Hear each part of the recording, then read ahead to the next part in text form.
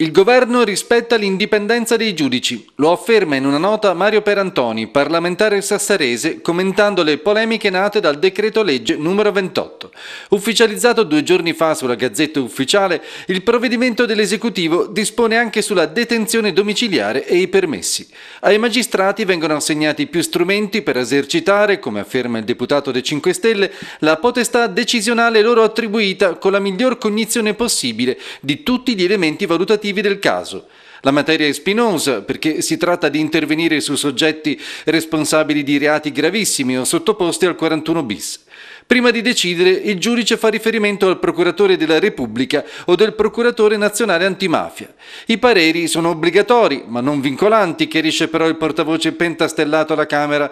Nessuna invasione di campo, quindi, sull'autonomia della magistratura. Al contrario, precisa ancora Perantoni, col decreto non si lasciano soli i giudici in decisione di così grande responsabilità, alla gogna di tifoserie disinformate e inaccettabili processi mediatici, dotandoli invece di tutti gli strumenti per decidere nella maniera più oculata e ponderata possibile. Il deputato sardo conclude il comunicato sottolineando che, queste le parole, chi afferma che il governo vuole incidere sulla libertà, autonomia e indipendenza dei giudici evidentemente ignora la Costituzione oppure è mosso da disonestà intellettuale o sterile speculazione politica.